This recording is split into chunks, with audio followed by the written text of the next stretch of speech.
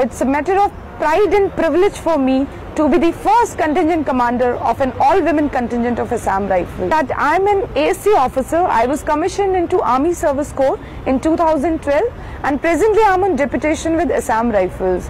I would like to give them a message that I would like to give them example of mine that I'm a daughter of a bus conductor. I've been studying on scholarship throughout my school. I've studied from a government college. I've did my MBA from a government college. If I can reach, I can lead a contingent of the majestic Rajpath, then each one of you, with your hard work, with your confidence and your willpower, you can make your dreams come.